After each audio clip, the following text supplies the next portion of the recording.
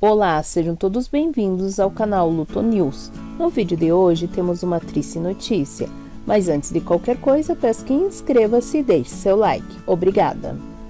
Infelizmente, querida no auge que tinha o sonho de ser mãe, teve sua vida interrompida após doença grave do momento levá-la.